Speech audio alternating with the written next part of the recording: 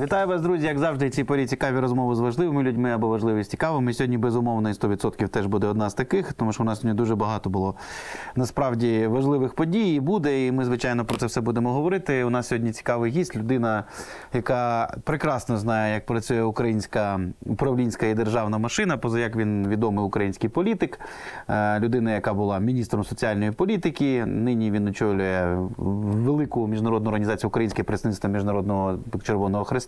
Ну але сьогодні ми з ним будемо не про Червоний Хрест говорити. Скоріше сьогодні пан Павло Розенко буде виступати в ролі знову ж таки політичного аналітика і людини, яка знає, як працює державний механізм в Україні. Вітаю вас, пане Павло. Вітаю вас, добрий день. Правильно представив, нічого не забув. Ну я єдине, що уточню, я не є представником міжнародного комітету Червоного Христа, Мгм. я віце-президент Українського Червоного окей. Христа і різні організації, але справді ми не про мою волонтерську і громадську діяльність. Ми сьогодні більше спілкуємося як людина, яка є експертом з питань соціальної політичної ситуації. Звичайно. Ну, власне, я не можу вас не спитати про звичайно ясна справа, що хоча мобілізація це в принципі теж питання соціальної політики, чому ні? Е, мобілізація, в принципі, стосується всіх сфер управління, це абсолютно очевидно. Е, Верховна Рада сьогодні в першому читанні прийняла е, цей законопроект. Мені правда дуже сподобалося. Дуже багато депутатів написало, що типу, закон плохой, много проблем, будемо вносити правки, але в першому читанні голосуємо. Чи виправданий взагалі такий підхід? І які от ви особиста людина, як знову ж таки, яка знає, що таке управляти, напевно, най однієї з таких, знаєте, найбільших чорних дір в українському бюджеті, яким є соціальна політика по великому рахунку. Ну, одні пенсії чого вартують. Е, як ви бачите цей законопроект? Плюси, мінуси, проблеми, підводні камені, що куди як? Прошу вам слово. Ну, дивіться, я не розглядаю окремо, наприклад, за законопроект і взагалі систему мобілізаційну в Україну. Я все-таки вважаю, що будь-які ухвалення будь-якого законопроекту має за собою тягнути якийсь результат. От я не бачу на сьогоднішній день, яким чином новий законопроект про мобілізацію. Суттєво покращить стан з мобілізацією в Україні, поповненням українського війська і ну, взагалі змінить трошки, е, ну скажімо так, е, акценти державної політики щодо мобілізації і змінить думку суспільства е, до мобілізації, тому що ну нас, насправді. Таких актуальних проблем, те, що говорять, що от мобіліза... мобілізаційний законопроект також несе в себе значну частину речей, які впливають на службу нинішніх військовослужбовців, зокрема, можливість звільнення з військової служби, можливості там якихось розширення їхніх соціальних прав. Але якщо подивитися уважно на законопроект, то як правило, ці всі отакі соціальні і поважні речі вони зафіксовані в цьому законопроекті на рі... на рівні гасел. Так і ем, з іншого боку, якраз мобілізаційна частина якраз містить низку норм, які я не думаю, що вони суттєво покращать ситуацію з мобілізацією в Україні. Я думаю, що вони додадуть більше роботи судам в Україні стосовно. Трактування мобілізаційного нового мобілізаційного закону і стосовно там порушення певних прав певних категорій осіб. Тому мене турбує в цілому не законопроект про мобілізацію, а в цілому мобілізаційна політика нинішньої сьогодні держави. І якраз я вбачаю, що найбільше ризиків саме в ній, а не в якому законопроекті, який очевидно, що там треба допрацьовувати і можна приймати. Але на те, що робиться в цілому в державній політиці, на жаль, ми мало звертаємось уваги. А от тут, будь ласка, якщо можна конкретизуйте, тому що знову ж таки, ну ясна справа, що зараз можна обговорювати якісь там конкретні моменти, які зараз містять цей законопроект. Само собою, що ще до другого читання, я думаю, там буде багато змін. Там, наскільки я пам'ятаю, до 21 лютого можна буде вносити чисто процесуальні якісь зміни. Я думаю, цих змін будуть дуже багато. У мене насправді, от е, єдине, що одразу перед тим, як я вам слово передам, щоб ви конкретизували, що ви маєте на увазі. От у мене особисто ем, я не маю нічого абсолютно проти діджиталізації. Вважаю, що це хороша історія. Історія, не дивлячись на всю історію з дією, просто яка була на Євробаченні. Сподіваюсь, правда, тепер питання про те, що це можна використовувати як виборчий інструмент, насправді закрите. Але ідея, наприклад, з електронними повістками, там з електронним кабінетом військовозобов'язаного. Я нічого поганого в цьому не бачу, але якщо мені пам'ять не зраджує, ніде в конституції не записано, що Україн, громадянин України зобов'язаний мати доступ в інтернет. Тобто, я маю на увазі, ну я не знаю, чи хтось ризикне подати в суд е, конституційний з депутатів, враховуючи ну непопулярність, але я не сумніваюся, що тут же буде якась подача в конституційний суд, і конституційний суд 100% цей закон визнає неконституційним, тому що дійсно ніде не записано, що український громадянин має обов'язково мати якийсь там діджитал, наприклад, кабінет. Ну це от мені, от здається ця історія, і звичайно історія про 36 місяців. Оці е, служби. Оце дві речі, які мені здається дуже тригерними. Ну це мені. А ваша точка зору дуже цікава. Прошу вам слово. Ну, якщо по конкретиці, як я у мене є внутрішнє відчуття, що якраз за електронний кабінет не варто переживати, зважаючи на те, що за моєю інформацією, з тим, що я спілкуюся із народними депутатами із провладної фракції, з різними фракціями Верховної Ради України, я так розумію, що на сьогоднішній день, останнім на зараз, є компроміс щодо того, що ця історія буде вилучена із законопроекту. Подивимось, але принаймні офіційні коментарі тих же представників слуг народу говорять про те, що е, ця ідея справді не сприймається не стільки з точки зору там е, необхідності, а з точки зору справді. Технологічної неможливості е, виконати норму про те, що кожен військово зобов'язаний зобов'язаний, вибачте, за тавтологію, зобов'язаний мати і зареєструватися в електронному так званому цьому кабінеті. Тобто там є чітке зобов'язання, яке виконати. Не можна перевірити, не можна, і саме головне, що відбувається за тим, що а, якщо не виконується ця норма з незалежних від людини причини, ну ми розуміємо, що не це. Але якщо дивитися в цілому про мобілізаційну політику держави, на мій погляд, що яка основна небезпека нинішньої ситуації, що влада. Сама держава, ну я сказав би не держава, а влада, саме влада, сформувала дуже серйозний антимобілізаційний тренд в Україні. Це це оце загроза для мобілізації, те, що за два останніх роки сформувала у суспільстві так, російська і ПСО працюють. Та російські спецслужби працюють на антимобілізаційні е, заходи в Україні. Це 100%, Ніхто не буде заперечувати цьому. Але сама влада сьогодні сформувала, на мій погляд, дуже широке антимобілізаційне поле в Україні. Які конкретні от фактори? Певне ну абсолютно безглузда інформаційна політика держави стосовно ставлення до військових і до мобілізації в цілому. Це перш за все е, недооцінка. Е, Нашого ворога військ Російської Федерації зневажливе до них ставлення, і що там взагалі там там чмобіки, мобіки і так далі, і тому подібне. Друге завищені очікування щодо ситуації на фронті і щодо того, що ми там все там через 2-3 місяці ми будемо в в Криму, будемо гуляти в Ялті, пити там на набережній кави і так далі, тому подібне. Тобто завищені очікування, які формують у суспільства ставлення до мобілізації як до такого фактору, що воно все обходиться без нас, для чого нам в цьому приймати участь, тобто розшарування інформаційна політика держави провальна з точки зору мобілізації, вона навпаки негативна. Останні е, події там будемо обговорювати про це навколо залужного і вищого керівництва збройних сил України. Давайте відповімо на питання. Те, що зараз відбувається навколо залужного, це сприяє мобілізації. Інформаційна ця кампанія та ні. Це дискредитує Збройну силу України, це дискредитує е, залужного і це дискредитує ідею загального єднання і мобілізації України. От вам одна частина інформаційна. Тепер до своєї улюбленої частини, друга соціальна. На мій погляд, е, ну я не хочу сказати, що це помилка. Я би вважав, все-таки це злочин, який стався на початку 2022 року, коли було суттєво зменшено грошове забезпечення військовослужбовців. Я не знаю жодного такого прикладу в світовій історії, чи навіть якщо подивитися на нашого ворога Росії, що під час війни скорочували грошове забезпечення е, військовослужбовців. Пане Павло, те, я, на- що- я от на секунду вас приб'ю, вибачте, будь ласка, е, не дай Бог, звісно, мені виступати в ролі захисника діючої влади, але я, типу, заради баланса, отут скажу, а звідки нам гроші на це взяти? Тим більше, що от навіть, а, якщо це, ми про трошки пізніше про це поговоримо з вами, про американські ті дорожчі, яких не зрозуміло, чесно кажучи, вже чи ми отримаємо, в принципі.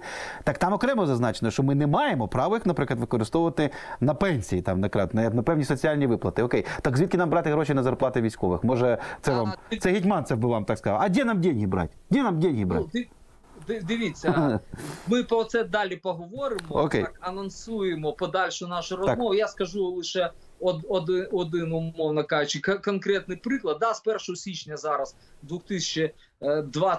2023-2004 року зараз підвищили на 15% зарплати народних депутатів і всім працівникам державної служби по всій вертикалі влади на 15%. Да? Можна по-різному цього ставитися і обговорювати про те, е, чи потрібно це робити, чи ні.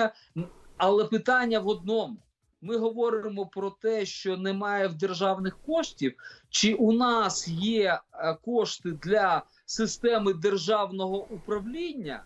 А для військовослужбовців ко- ко- коштів немає. А у нас тут приблизно плюс-мінус паритет, да? кількості військовослужбовців і кількості вертикалі державної служби, місцевих органів влади е, то, е, тощо. Так так ми говоримо про пріоритети. Невже сьогодні підняття зарплат по системі народні депутати, міністри, держслужбовці сьогодні важливіше? Ніж заробітна плата для військовослужбовців, це питання пріоритетів. Держава розвивається, держава живе, держава виконує бюджет. Ми можемо, я можу, і ви можете навести десятки сотні прикладів неефективних державних витрат під час війни. Тобто, це питання не те, що грошей немає. Питання в тому, які пріоритети держави. Так от, повертаючись до грошового забезпечення військовослужбовців, мені здається, що це злочин. І на місці е, Служби безпеки України я дуже серйозно би поставився до питання, як приймалося рішення про зменшення грошового забезпечення військовослужбовцям, які там були фактори, і чи не було це свідомою політикою, яка, до речі, призвела, ще раз кажу, до ну скажімо так, створення в Україні антимобілізаційних настроїв, тому що безумовно для кожної людини. Перед якою стоїть питання захисту там країни, безумовно, на на першому місці є стоїть питання захист власного і родини, захист власної домівки, захист свого міста, району, села, селища. Але друге питання: як при цьому всьому захистити соціально свою родину? І коли сьогодні так на нулі паритет зберігся і збе- зберіглися з- заробітні плати військовослужбовцям. Але ті, хто сьогодні проходить бойове злагодження, хто перебуває в навчальних центрах, хто перебуває на другій лінії зіткнення, які чи охороняє державний кордон. А друга е, лінія зіткнення це фактично теж поле бою, тому що туди постійно прилітає.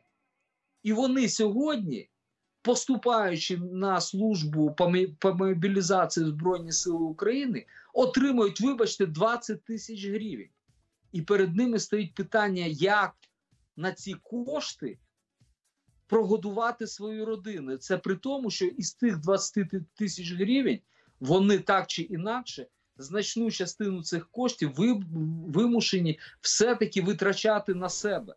І людина, яка має, ну скажімо так, я не хочу сказати бізнес, але має роботу, має забезпечує родину, і перед які стоїть питання бачити, а зараз в якісь моменти різко втрачаєш доходи і м, вимушений прогодувати свою родину на 10 тисяч гривень. Яка мотивація, ще раз кажу, окрім захисту національних людей, у цієї людини кинути свою родину і сказати: ну окей, да, я це.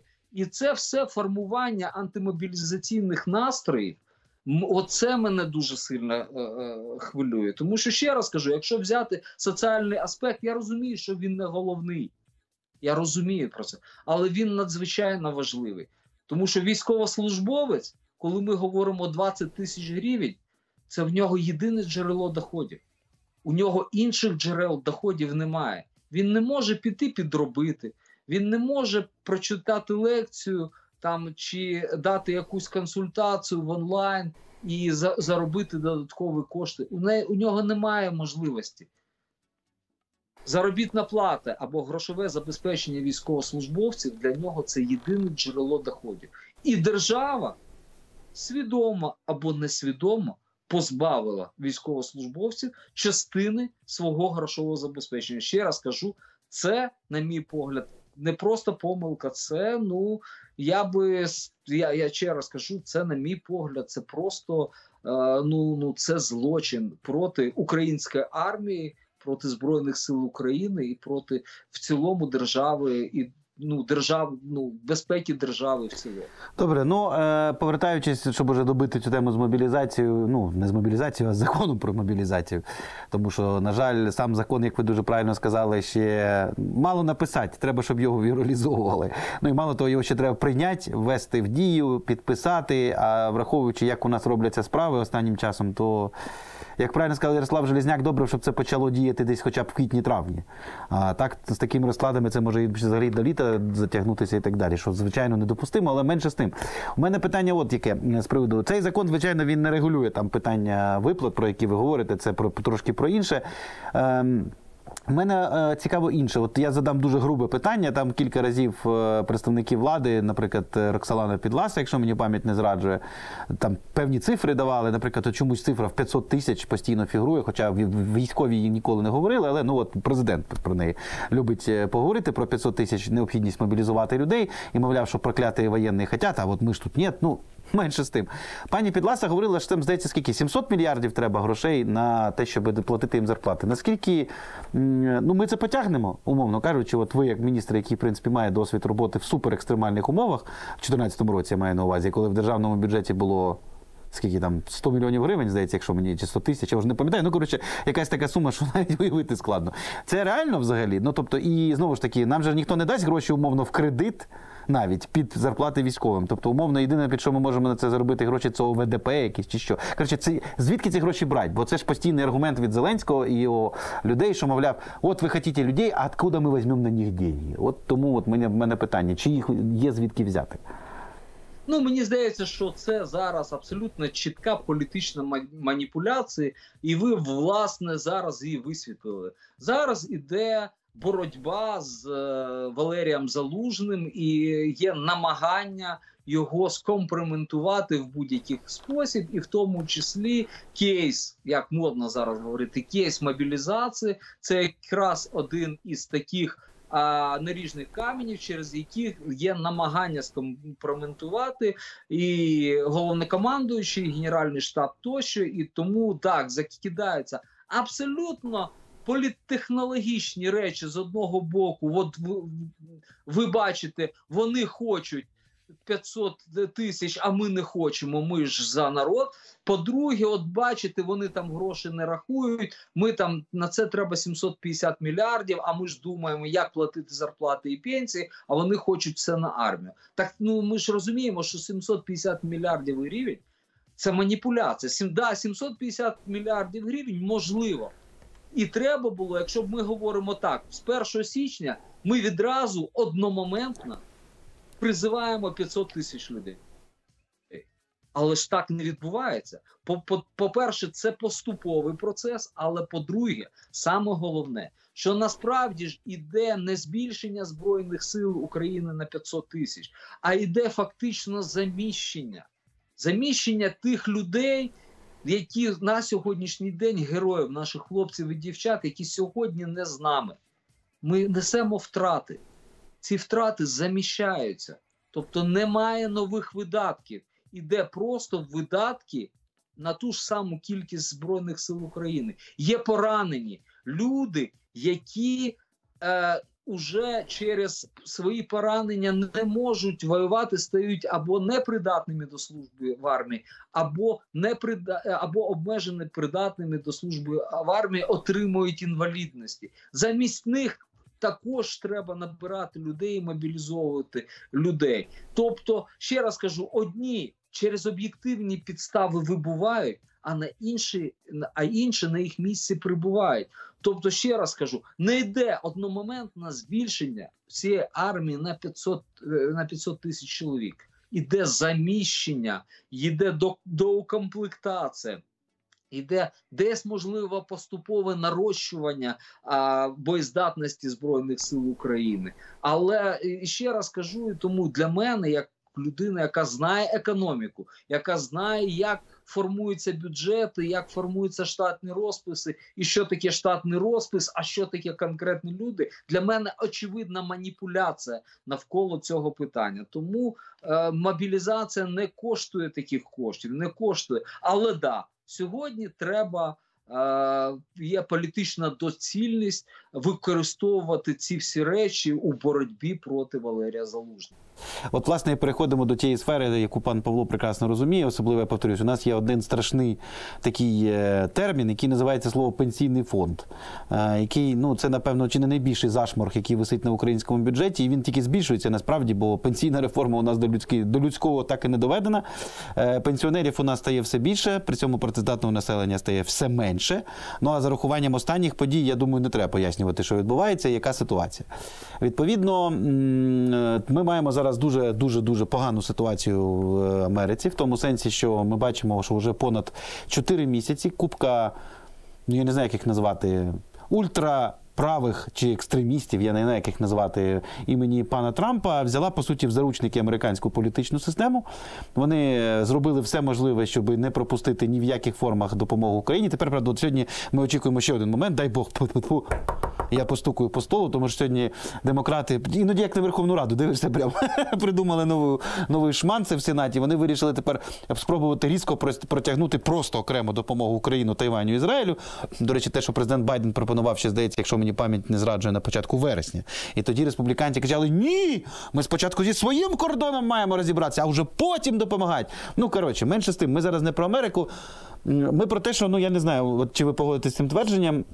Ну, скажімо, я е, ну тут погоджуватись, наші представники, високопостовці, пан Кулєба, багато хто решта говорили, що ніякого плану Б у нас нема. У нас є план А, що деньги будуть. А якщо їх не буде, що ми будемо робити з нашим соцекономом і наскільки, скажімо так, в цьому сенсі ми залежні від західних грошей? Прошу вам слово. Ну, знаєте, мені здається, що мене більш хвилює про те, що ми зараз дуже залежні від непрофесійності саме нашого уряду, і оці заяви про те, що ні, ми у нас тільки план А є, а інших планів Б немає. Ми ці всі речі з вами чули ще перед війною. Пам'ятаєте, перед широкомасштабним вторгненням, коли нам розказували, так а як у вас там в переговорах з Росією, чи є у вас якісь там інші плани на випадок широкомасштабного вторгнення? І нам тоді теж розказували: ні, ні, ні, у нас тільки є один план.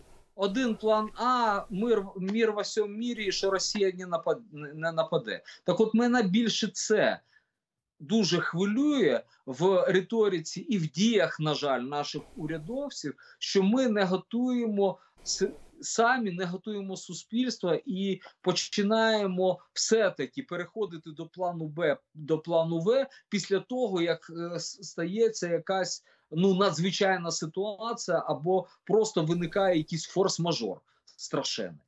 І тому так ми маємо готуватися. Я розумію, що у нас є певні, певний запас міцності, принаймні на перші півроку, і, е, скажімо так, ті рішення, які приймає сьогодні Європейський Союз і окремі держави в межах Європейського Союзу щодо прямої фінансової допомоги України, військово не беремо тільки фінансову допомогу. Ну скажімо так, дають нам підставу говорити про те, що перші півроку у нас є можливість принаймні забезпечити. За рахунок власної економіки, за рахунок надходжень від власного бізнесу, питання військовослужбовців і збройних сил України і за рахунок в основному зовнішніх донорів закрити соціальні питання. Я сподіваюся, що перш за все будуть проіндексовані пенсії з 1 березня, як цього вимагає закон, і як до речі, це зафіксовано в бюджеті. Але ми сьогодні бачимо про те, що ну на жаль, не те, що говорять як хорошо, як все прекрасно наші урядовці. В їхніх діях є інша вже логіка, і ми знаємо, що спочатку це планувалося 1 лютого, а зараз це перенесли після значних скандалів з 1 березня. З 1 березня значна частина вимушених переселенців буде позбавлена ну, фінансової допомоги від держави. І за моїми розрахунками, біля 60-70% вимушених переселенців будуть позбавлені соціальної допомоги від держави. Це на там відшкодування за оренду житла, так зване. Тобто, це фактично єдиний вид соціальної допомоги, який сьогодні надається вимушеним переселенцям. Тому скорочення вже йде, але ще раз кажу, мені дуже непокоїть, що це все йде у нас на хвилі того, що з одного боку ми бачимо багатомільярдні нецільові видатки, не першочергові видатки, які сьогодні здійснюються державою. Ми кожен день бачимо це абсурдні термі, е, тендери. Наприклад. Наприклад, от що ви Ну, маєте на увазі? Останній термін 8 мільйонів гривень фірмі, яку пов'язують з народним депутатом Слуги народу, так звану медіатеку, яка забезпечує моніторинг всіх соціальних мереж про те, як про чиновників офісу президента думають в соціальних мережах. Це пан Маріковський. Рівень, Угу. рівень місяць. Я розумію, що це невелика цифра, Ну але так. все одно, друзі, ви без цього обійтися не можете Пане без того, щоб не відмити кошти через товку, яка належить народному депутату. я з вами згоден на 400%, е, але тут я от просто, опять же, не подумайте, що я захищаю їх, просто я намагаюся е, щоб як в собі, Баланс. ні, включити в собі міністра, пане Павло, включіть в собі міністра внутрішнього цього. Е, от, ем, Ну, з приводу внутрішньо переміщених осіб, окей, там можна, хоча знову ж таки, у нас же вони продовжують постійно з'являтися. Це не та історія, що от хтось переїхав і все, це ж не стало число. Але от е, я, по-моєму, буквально вчора, здається, бачив заяви пана Гітьманцева, який заявив, що уже ми в січні почали недофінансовувати непрофільні рядки держбюджету. Що це означає, я знаю на власному прикладі, де, от, наприклад, в моєму гурті там е, е, мій е, товариш, е, скажімо, який був на зарплаті е, в нашій національній опері, ну, у нього там троє дітей і так далі. Він змушений був зараз виїхати з країни, тому що, ну скажімо так, і зарплату їм просто перестали платити взагалі. Е, Ну, хтось скаже, що це не профільно. Ну, може, це і не профільно, звичайно. Я розумію, що у нас зараз стоїть питання, чи фізично виживуть всі ми вижимо. Може, дійсно нам це і не треба. Але я ж до чого веду, розумієте, от. Окей, навіть якщо ми там відріжемо всі непрофільні платежі, цього вистачить, умовно кажучи, для того, щоб платити пенсії. Умовно, да, і там зарплати лікарям, врачам, якщо, е, ну хорошо, європейці нам, слава Богу, якісь гроші вже дають, тьфу-тьфу-тьфу, ну американських 11 мільярдів це просто, ну це ж чорна діра. І звідки ми ці гроші візьмемо? Що робити? От я з цієї точки зору, розумієте, що станок включать? А тут МВФ, який нам не дозволяє більше 50 мільярдів включати, і. Перша, ну перша, давайте так говорити відверто, що так безумовно, ми, ми, ми кажемо про те, що має працювати дипломатичний напрямок, і має працювати вся сьогодні не просто дипломатія, а весь український політикум для того, щоб забезпечити повноцінне надходження фінансів в Україну для е, ну, перш за все, забезпечення соціальної сфери. І тут мене дуже турбує, коли ну умовно кажучи, знов іде роз'єднання українського суспільства, роз'єднання політиків, коли починається говорити: ага, значить, оці народні депутати мають право виїжджати за кордон. Не знаючи мови, не маючи жодних контактів, просто так поїхали в туристичну поїздку. Ну давайте згад- згадаємо поїздку напередодні нового року В групи там 30 чи 40 народних депутатів від одної провладної фракції в Сполучених Штатах Америки. Як розпіарили, да ми там поїдемо, бо да ми там поїдемо по штатам, да ми там будемо з е, е, з людьми говорити, да ми там з конгресменами, з сенаторами все порішаємо. Що порішали? Ні, це була просто туристична поїздка за наш з вами державний бюджетний кошт. Разом з тим, що тих людей, які можуть, мають контакти в західному політикумі, мають прямі е, зв'язки, мають вплив, мають можливість для діалогу. Їм кажуть, ні. А ви бачите представники неправильних політичних сил. Ми має, ви, ви будете сидіти в країні, ми вас не пускаємо. Тобто, оце треба припиняти. Дипломатична служба і дипломатична робота, і робота політикума на на скажімо, залучення коштів має бути спільна і не повинна там бути поділ на правильних і неправильних. Всі, хто може привести Україну в кошти, мають повинні зобов'язані на це працювати, не зважаючи на колір твого забарвлення чи на політичну силу, яку ти представляєш. Це перший момент. Другий момент слухайте, без внутрішнього аудіту так он ЗСУ, так, пане Павло, подивіться, у нас Подоляк після величезного скандалу з журналістами дозволяє собі вийти. Людина, чесно, тут я вже на правах журналіста скажу. Тобто людина, радник, простіть, вона же влада рад, е, радників, а не влада, вона влада радників, да? дозволяє собі вийти і заявити в розпал одного з найбільших скандалів, які я я особисто по-іншому, як Вотергейт український називати не збираюсь, і дозволяє собі заявити, так ми тут аудит ЗСУ внутрішній проводимо за два роки. Ви свій, ви свій офіс президента аудит не хочете зробити? Ей, ребята, може ви декларації свої подасте нарешті? Аудит вони проводять. Вибачте, це так просто емоції. Sorry. Повертаю вам слово, вибачте. Аудит, блін. Цинізм цієї ситуації полягає в тому, що зараз пан Подоляк, який курує всю інформаційну політику влади, говорить про все, що завгодно про аудит Збройних сил України, про так погану ситуацію на фронті, про те, як треба чи не треба проводити мобілізацію. А за те, що він безпосередньо відповідає за інформаційну політику, за те, що зараз роблять з журналістами, з Ніколовим, з стеженням за Бігусом, він, хоч слово, сказав: Та ні. Я спеціально за цим слідкую. Два дні мовчить. І це я просто хочу звернути увагу всіх журналістів, які комунікують, які залежать від пана Подоляка в той чи інший спосіб. Зверніть, будь ласка, увагу на на, на зараз на поведінку пана Подоляка. І знаєте, якщо, не дай Бог, у вас щось трапиться, якась проблема, хтось за вами буде стежити, хтось вставляти вам буде палки кольоса. Пан Подоляк як великі куратори інформаційної політики, просто вимкне телефон або зробить вигляд, що нічого не відбувається, все хорошо, все прекрасно. Розумієте? От в чому цинізм ситуації. Навіть не те, що він.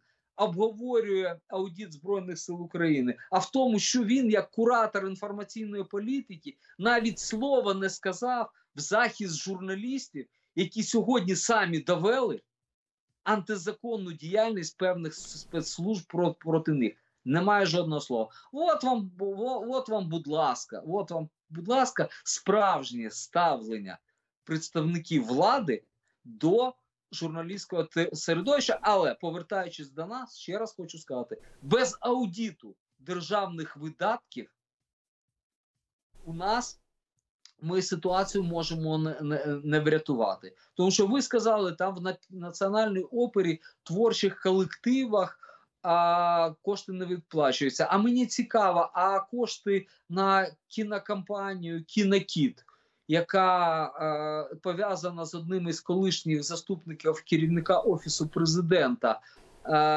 120 там мільйонів перерахували вже чи ні? Чи скільки перерахували? Я переконаний, що туди кошти перерахували. І Пане Павло, кошти є. Тут це очевидно. А от мені дуже цікаво, от я, вибачте, ще раз е, ну, знову ж таки апелюю до того, що ви маєте досвід, скажімо так, стрес-управління в умовах весни 2014 року, коли денег не було взагалі ніяких. Ну, вони з'явились, звісно, поступово, але От, ну, давайте спробуємо спрогнозувати такий сценарій. Американська допомога, якщо і з'являється, це буде не скоро. А от у нас починається там, от зараз у нас другий місяць першого кварталу, умовно кажучи, другий квартал, ну от уже починається другий квартал, денег нет на, від американців. Що то європейці дали? Як нам, ну окей, я зараз не про політичні моменти, там виїзд, це все ясно, я теж з вами погоджуюсь, але окей, от суто з фінансової точки зору. От як закрити бюджет? От звідки, наприклад, уряд може взяти гроші в таких умовах? Про- проводиться те, що ми з вами говорили. Аудит, перше аудит видатків. Тобто щось взагалі не профільне. Виставляються- ви- Виставляються пріоритети, що першими у нас фінансуються Збройні Сили України. Потім далі, хто у нас фінансується? На мій погляд, це справді люди, які повністю залежні від держави, які без держави просто не виживуть. Це Наприклад, перш за все, це пенсіонери. У нас, наприклад, 2,5 мільйона пенсіонерів, що працюють, можуть самі собі, умовно кажучи, там допомагати, але у нас є приблизно там 8 мільйонів пенсіонерів, які вже не працюють і не можуть вижити без, е, без пенсії. Тобто, друге пенсії це люди з інвалідністю. І програми соціальні, а далі вже дивимось далі по пріоритетам. І далі ми повинні говорити, що оці два-три напрямки ми фінансуємо угу. відразу, так? А вже далі, вибачте, друзі, по наявності. проводити так званий секвестр бюджету. Угу. І оце вже політичне рішення, коли іде нормальна комунікація з суспільством, коли президент України разом з урядом, перш за все, проводить е, консультації з політичними силами, сідає за один стіл, показує всі викладки і говорить: подивіться, у нас непроста ситуація.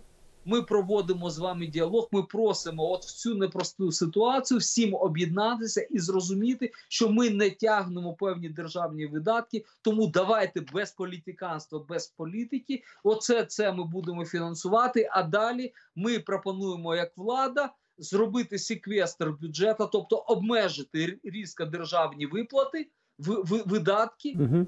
і вже політичні сили беруть на себе всю відповідальність, що одні за такі політичні рішення, інші говорять, ми розуміємо ситуацію, ми не піднімаємо це питання, умовно кажучи, не починаємо розкачувати суспільство на тему. Обмеження якихось чи виплат, видатків чи так далі. чи От, пане Павло, от одразу Але- хочу уточнити. А от, наприклад, я одразу понятно, там телемарафон, це от перше, прям що хочеться, але окей, навіть при всій моїй величезній, як журналіста, ненависті до телемарафону, але окей, ну там суми ну 2 мільярда гривень, там десь приблизно. Це чимало грошей, але вони. Скільки у нас пенсійний фонд? Ну, скільки У нас там видатки на пенсійний фонд там близько ну понад 400 мільярдів. І от що робить? От як от якби ви були міністром, окей, в якомусь ідеальному світі вас президент каже, неважливо хто президент, просто він каже: От, пане Павло, пожалуйста, план. Два мені, пожалуйста, в першу чергу, що ми нафіг скидаємо з пляжа для того, щоб ми могли хоч якось звести. От що б ви скинули, окрім телемарафону, це першим ділом, окрім нього. От що ще от може бути визнано непрофільним? От що це? Видатки державного управління. Ага. Це не, не, не, не профільне, це видатки державного управління, це видатки на державний апарат.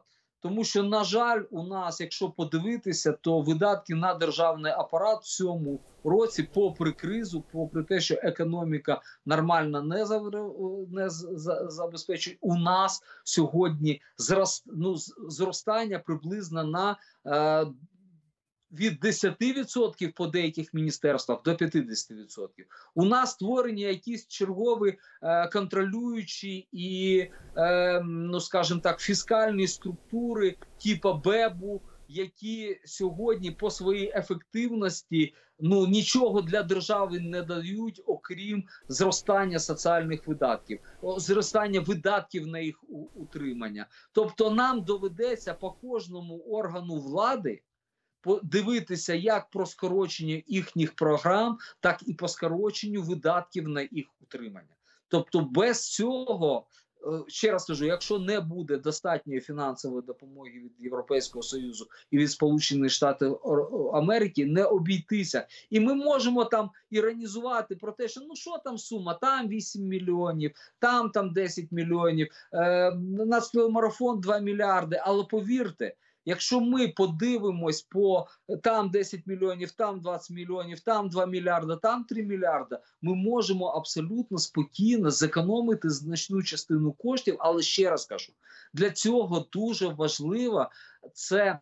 Ну, скажімо так, консолідація навколо цього питання суспільства і всіх політичних сил, і всіх громадських е, течій. І мене якраз турбує не питання в тому, де можна скоротити і як можна скоротити. Повірте, це як людина, яка знає, як бюджетується і де як можна це все робити. Мене турбує більше всього, що у нас немає діалогу всередині держави на те, що ми можливо прийдемо до точки, коли ці рішення нам треба всім разом приймати. Мене дуже турбує, що президент е, е, спілкується лише з своїм оточенням і з цим невеличким колом 5-6 менеджерів. І ці 5-6 менеджерів е, намагаються керувати дуже важкими процесами в державі. Мені дуже неприємно, що е, президент не розширяє коло цього діалогу, який треба проводити в суспільстві, особливо е, під час війни, а постійно звужує, починаючи війну на різних фронтах. Проти місцевого самоврядування, проти опозиції, проти бізнесу, проти е, громадських ініціатив проти волонтерських організацій структур, те, що зараз робить владі на, на, на гуманітарному фронті. Тобто іде війна влади проти всіх, замість того, щоб навпаки е, робити центр об'єднання і готувати країну. До непростих рішень, да, слава Богу, якщо цих е, е, е, рішень не доведеться приймати і спрацює цей єдиний план А. А якщо план Б, що робити, коли суспільство розколоте, коли чергові сьогодні ну будуть оприлюднені або оприлюднені рейтинги? Ну скажімо так, я не хочу говорити про довіру до влади, а про те, що сьогодні тренд страшенний, що в суспільстві починають панувати знов. Ну, скажімо, думки про те, що ситуація в країні розвивається в неправильному напрямку. Перше пішов тренд сьогодні на падіння до до, до, до цієї історії. Розумієте? Так. Тобто, от, от що хвилює, і мене от дуже хвилює це питання: чи готовий президент, як лідер держави, як лідер нації, переступити через свої образи, через своє его, чи через своє неприйняття? Певних політиків, певних громадських діячів, певних експертів і закликати їх за єдиний стіл е, національного діалогу, щоб забезпечити все-таки виживання держави. От що в чому проблема. Ну не кажучи, що всі об'єднання заради перемоги. І от тут от в мене колосальна проблема до цього. Ще раз, останнє бюджет. Я, що зробити з бюджетом? Як зробити бюджетом? Як вирулити з цієї ситуації? Я вже частково сказав. Всі експерти, ну всі люди, які займалися державним управлінням, знають. Але питання полягає в тому, що тут має бути працювати і політичний фактор, який сьогодні не просто відсутній, а він сьогодні розриває сьогодні країну. Ну е, тоді давайте я спробую задати таке питання. Я розумію, що якісь відсотки вираховувати в таких речах це неможливо. Знову ж таки, я, чесно кажучи, іноді виходжу з такої логіки, що тут, поки смажений півень в одне місце не клюне, ніхто не почухається. Ну от. Давайте спробуємо так. В відсотковому значенні, от якщо вам, як аналітику, дадуть спрогнозувати, скільки шансів є на те, що нинішня влада зрозуміє, що якщо вона зараз не почне думати не про вибори і рейтинги довіри, а про те, що взагалі так якби ніхто не гарантує, що восени е, рашисти знов не підуть на Київ і Харків. Е, а може навіть раніше, е, то якби потім і держави просто може не стати. От в відсотковому значенні, скільки б ви дали можливості, що лю... я не кажу там про якісь уряди національної єдності, це це навіть я мріяти не буду. Хоча б про те, щоб те, що ви сказали, сісти за стол і подумати, хто чим може бути корисним, і разом працювати над якимись речима, і забути, хоча б на певний час про цей постійний перманентний політичний ублюдочний срач. От скільки ви відсотків дасте на, ре... на реалістичність такого варіанту? Знаєте, я хотів би бачити такі варіанти. Я все-таки сподіваюся на те, що да, коли можливо петух в черговий раз клюне, можливо, президент піде е, все ж таки на цей варіант. Е, я даю йому десь на рівні приблизно 10-15%. Я теж скептично ставлюсь, але я все-таки хотів би, щоб рано чи пізно і президент, і його оточення зрозуміли, що в цій державі у нас ворог один. Це Російська Федерація, і всі люди, навіть якщо ті люди, які говорять не дуже приємні речі, які критикують дії влади, які підказують влади, як краще робити, вони не є вороги держави. Так? Можна їх вважати там особистими ворогами, хоча це теж неправда. Але не можна їх вважати ворогами держави. Я просто, я ж, ну скажімо так, у мене є досвід комунікації з влади не тільки той час, коли я сам був у владі, там з 14 по 19 рік. І до того були різноманітні е, можливості комунікації. І вибачте, так, дуже часто за одним столом влада збирала антагоністів, та яких вона слухала. Да, щепивши зуби, але слухала. І брала все саме краще. Я пам'ятаю, ну це вже мій досвід. 14 там 15 рік, коли там я робив реформу систему субсидій в Україні. Колосальна реформа, просто за своїми масштабами. Ну я думаю, що ну за останні там 10 років такої масштабної реформи в соціальній сфері са- саме не було. Та вибачте, мене зранку до вечора. Представники там певної тодішньої опозиції поласкали зранку до, до ночі по телебачення, іноді переходячи на особисті образи, але все-таки. Але вночі я їх збирав поодинці. І ми обговорювали, проговорювали тим, як вони бачать зміну ситуації. І вони мені дзвонили іноді з своїх виборчих округів, депутати вночі говорили: ви знаєте, я зараз на виборчому округу, у нас така-та проблема з субсидіями, давайте Так. їх якось вирішувати. Ну, зрозуміло. І ми змінювали, і ми слухали їх, і ми чули їх. Так? Бо це теж люди, вони теж представники українського народу, і це, це ж частина нашого суспільства. А сьогодні у нас такого діалогу немає. Ну, дай Бог, сьогодні щоб. 5 менеджерів, Так, і так, ми не так. хочемо нікого чути і нікого бачити. Ну, дай І Бог, це щоб Дай Бог, щоб вони зараз почули, тому що ну насправді ми сьогодні говорили суто про економічні речі. Мені здається, багато в чому. І мені здається, е, ці люди не можуть не розуміти, що це питання, яке стосується виживання всіх. Всіх без виключення. Дякую вам дуже за розмову. Це був пан Павло Розенко, відомий український політик, політичний аналітик, е, екс-міністр, екс-віце-прем'єр. Дякую вам за увагу. Побачимось, почуємо.